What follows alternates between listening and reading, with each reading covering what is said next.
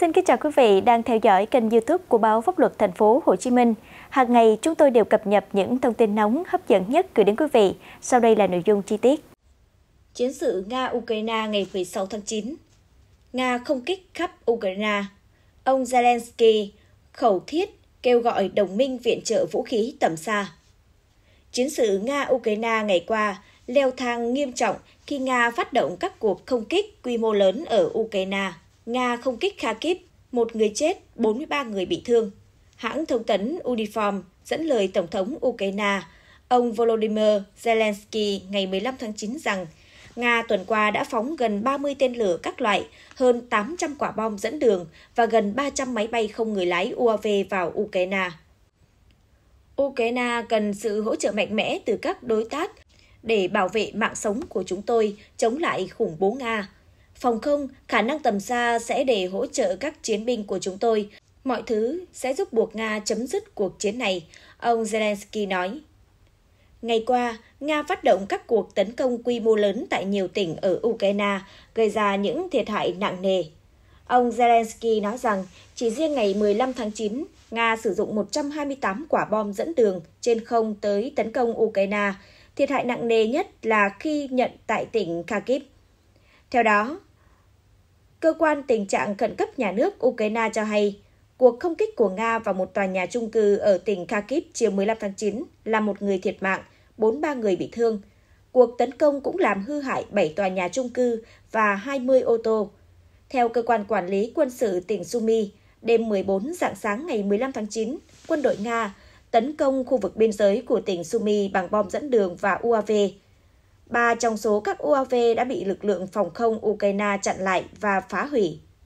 Tỉnh trưởng Kherson, ông Alexander Pukodin báo cáo rằng quân đội Nga không kích vào thành phố Olesdav thuộc tỉnh này trong ngày 15 tháng 9, gây thiệt hại cho nhiều nhà riêng và một trung tâm chăm sóc sức khỏe. Ông Zelensky nói về kế hoạch chiến thắng của Ukraine. Ngày 15 tháng 9, Tổng thống Zelensky cho biết kế hoạch chiến thắng của Ukraine mà ông dự định trình lên Tổng thống Mỹ Joe Biden bao gồm 5 điểm. Nhà lãnh đạo Ukraine không nêu chi tiết, nhưng cho biết kế hoạch bao gồm 4 điểm cơ bản và một điểm mà Ukraine sẽ cần sau chiến sự. Tôi sẽ chia sẻ chúng với ông Joe Biden. Đó là về an ninh, đó là về vị trí chính trị của Ukraine. Đó là về sự hỗ trợ quân sự rất mạnh mẽ dành cho chúng tôi và chúng tôi nên được tự do trong cách sử dụng một hoặc một số mục. Đó là về hỗ trợ kinh tế, các quyết định mà tôi nghĩ là sẽ rất thú vị, ông Zelensky nói. Cũng theo ông Zelensky, Ukraine đã cố gắng thuyết phục giới lãnh đạo Mỹ về nhu cầu tấn công sâu vào Nga bằng vũ khí Washington cung cấp, nhưng cho đến nay vẫn chưa nhận được sự cho phép. Ông Zelensky nói rằng Ukraine sẽ dùng vũ khí tầm xa của phương Tây để tấn công các máy bay phản lực tại các căn cứ quân sự của Nga, cho rằng Nga sử dụng máy bay này để phóng tên lửa vào Ukraine. Hiện nay, Moscow đã bắt đầu di chuyển máy bay phản lực của mình từ những căn cứ cách biên giới hai nước 100 đến 150 km đến nơi cách 300 đến 500 km. Bây giờ chúng tôi cần nhiều sự cho phép hơn, theo ông Zelensky. Ngày thương vong lớn của Ukraine Bộ Quốc phòng Nga đưa tin lực lượng tên lửa và không quân chiến thuật tác chiến của Nga đã đánh bại lực lượng dự bị của 7 lữ đoàn thuộc lực lượng vũ trang Ukraine tại 11 khu định cư ở tỉnh Sumy trong ngày 15 tháng 9, theo hãng thông tấn TASS. Lực lượng không quân vũ trụ Nga cũng bắn hạ hai máy bay chiến đấu Su-27 của Ukraine trong vòng 24 giờ qua. Nhóm chiến đấu trung tâm của Nga ngày qua đã tiếp tục tiến sâu vào các phòng tuyến thủ của Ukraine và tấn công 6 lữ đoàn đối phương. Các cuộc tấn công của nhóm chiến đấu trung tâm khiến Ukraine thiệt hại 445 binh sĩ, 3 xe bán tải, một pháo tự hành M777, hai pháo tự hành Mazda B, một pháo dự hành D30 và một pháo Rapiza. Nhóm chiến đấu TNEP của Nga ngày 15 tháng 9 loại khỏi phòng chiến đấu 75 binh sĩ Ukraine, phá hủy hai xe tăng và 5 xe ô tô của đối phương – Bộ Quốc phòng Nga đưa tin lực lượng vũ trang Ukraine mất tới 570 binh sĩ do các hành động của nhóm tác chiến phía Tây của Nga. Tại khu vực nhóm tác chiến phía Tây quản lý, tổn thất của Ukraine là 570 binh sĩ, 7 xe chiến đấu, một khẩu pháo M777, một khẩu pháo kéo FH70, một trạm radar phản pháo ANTPQ-50, 4 kho đạn dược. Trong ngày, nhóm tác chiến phía Nam của Nga chiếm giữ những vị trí tốt hơn, gây thương vong cho 765 binh sĩ Ukraine. Tương tự, nhóm tác chiến phía Đông bảo đảm được các tuyến và vị trí tốt trong ngày, khiến Ukraine mất 110 binh sĩ. Nhóm chiến đấu phía Bắc của Nga cũng loại khỏi vòng chiến 150 binh sĩ đối phương trong 24 giờ qua. Tại tỉnh Kursk, Nga, nơi quân Ukraine tháng trước phát động cuộc tấn công, Bộ Quốc phòng Nga cho biết 6 nỗ lực đột nhập của Ukraine đã bị Nga đẩy lùi trong ngày 15 tháng 9. Các đơn vị thuộc nhóm tác chiến phía Bắc của Nga tiếp tục tấn công theo hướng Kursk, khiến Ukraine tổn thất hai binh sĩ, một xe bọc thép chở quân và hai xe chiến đấu bọc thép. Cũng theo bộ này, lực lượng phòng không Nga bắn hạ 29 UAV Ukraine trên bầu trời ở 7 khu vực của Nga trong ngày 15 tháng 9. Sức mạnh UAV rồng của Ukraine đáng sợ tới mức nào? Đầu tháng 9, Bộ Quốc phòng Ukraine cho biết binh sĩ Ukraine đã đưa vào sử dụng cái gọi là UAV rồng chống lại Nga, chút mưa hỏa lực xuống chiến trường. Bộ này cho biết Ukraine đã dùng UAV rồng chút mưa kim loại nóng trắng, rực lửa xuống điểm tập kết của quân Nga tại tỉnh Kharkiv, Ukraine. UAV rồng là đôi cánh báo thù của chúng tôi, mang theo hỏa lực và phun trực tiếp từ trên không nhắm vào đối phương. Chúng tôi đang trở thành mối đe dọa thực sự đối với quân Nga, có thể đốt cháy các vị trí của đối phương với độ chính xác mà không vũ khí nào có thể đạt được, Bộ Quốc phòng Nga cho hay.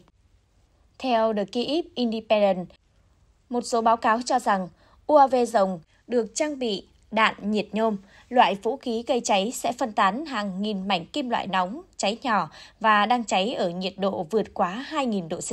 Do đó chúng tôi có thể làm tan chảy lớp vỏ của xe bọc thép. Theo ông Nikolov Raman, nhà phân tích lĩnh vực công nghiệp quốc phòng chuyên về chiến tranh trên bộ và là cựu sĩ quan quân đội Anh, tác dụng của Ukraine rồng là tạo ra tâm lý sợ hãi cho đối thủ, theo đài CNN. Nhiệt nhôm là thứ rất khó chịu, sử dụng máy bay không người lái để giải nó là biện pháp khá sáng tạo. Tuy nhiên, phương pháp này có tác dụng tâm lý nhiều hơn là gây thương tật thể chất. Theo ông Drummond nhận định, năng lực phát triển vũ khí nhiệt nhôm của Ukraine khá hạn chế. Do đó, chiếc UAV rồng này là một chiếc UAV cá biệt, chứ không phải là dòng vũ khí chủ đạo mới, ông Drummond.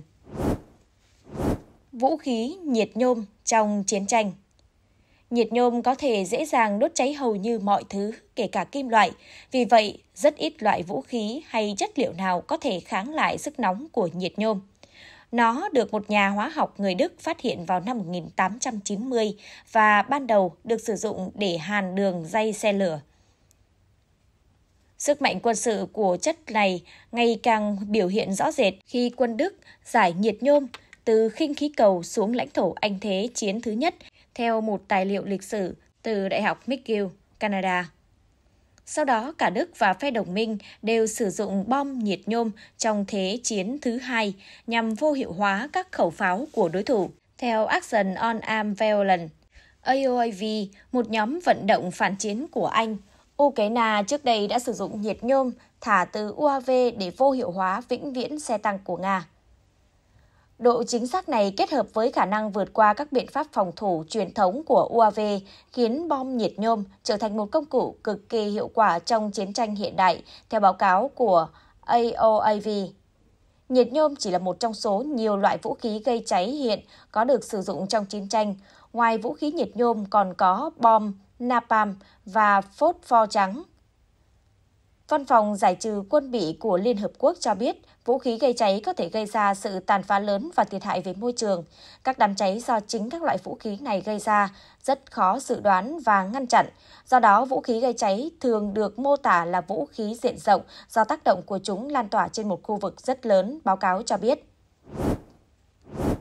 Tác động của nhiệt nhôm đối với con người theo pháp luật quốc tế, nhiệt nhôm không bị cấm trong chiến đấu quân sự, nhưng việc sử dụng nó vào mục đích tiêu dân sự bị cấm vì những tác động khủng hoảng khủng khiếp mà nó có thể gây ra cho cơ thể con người.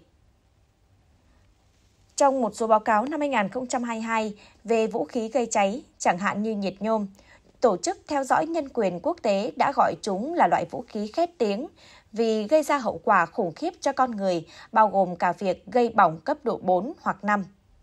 Chúng có thể gây tổn thương cho cơ thể, dây chằng, gân, dây thần kinh, mạch máu và thậm chí là xương. Theo Tổ chức Theo dõi Nhân quyền Quốc tế, việc tiếp xúc với những loại đạn dược như vậy có thể dẫn đến vết bỏng rộng và dữ dội cần điều trị đau đớn bao gồm tổn thương hô hấp do đường hô hấp, bị viêm và khói độc, nhiễm trùng, mất nước nghiêm trọng và suy nội tạng. Việc điều trị có thể kéo dài nhiều tháng và cần được chăm sóc hàng ngày. Nếu nạn nhân sống sót, họ sẽ phải chịu những vết sẹo về thể chất tâm lý. Rồi tin Nga phản công ở Kursk Chiến sự Nga-Ukraine ngày qua vẫn nóng ở các mặt trận tỉnh Kursk Nga và miền đông Ukraine, nhất là ở tỉnh Donetsk. Cập nhật chiến sự tỉnh Kursk vào ngày 11 tháng 9, Bộ Quốc phòng Nga cho biết lực lượng Ukraine mất hơn 350 lính và 13 thiết bị quân sự tại tỉnh Kursk trong ngày. Tổng cộng, Ukraine mất hơn 12.200 lính kể từ khi giao tranh bắt đầu ở khu vực này, theo hãng thông tấn TASS. Quân Nga chặn các cuộc tấn công của Ukraine vào các khu định cư Apanasovka, Chekaskaya, Nopopenka, Boki và Fanaseyevka. Quân Nga cũng gây thiệt hại cho Ukraine gần các khu định cư Boki, Biakhovo, Guyevo, Vinevska, Darino, Zelenki Sliak, Komkov, Kositsa, Luibimovka, Malaya Lognia, Manovka, matinovka, Novaya, Sorochina, Novoivanovka, obukhovka, Olovka, snagost và Uspenovka. Cũng trong ngày 11 tháng 9, ông Afti Alaudinov, Phó Cục trưởng Tổng cục Quân sự Chính trị Quân đội Nga, kiêm chỉ huy lực lượng đặc nhiệm Akhmat cho biết, Nga đã phản công dọc theo sườn phải ở Kursk. Theo ông Alaudinov, Nga giành lại 10 khu định cư ở tỉnh này. Trong khi đó, lực lượng Ukraine đang phải chịu tổn thất nặng nề và bắt đầu nhận ra rằng việc giữ vững những gì đã giành được ở đây không phải là điều dễ dàng. Một số blogger chiến tranh ủng hộ Nga cũng đã đưa tin về cuộc phản công của Nga, khớp với thông tin mà ông Alaudinov đưa ra. Blogger nổi tiếng Yuri Podolyaka cho biết quân Nga đã giành lại được một số ngôi làng ở phía tây tỉnh Kursk do Ukraine chiếm giữ, đẩy quân Ukraine về phía đông, sông Malaya, Lonia, phía nam làng Snagost.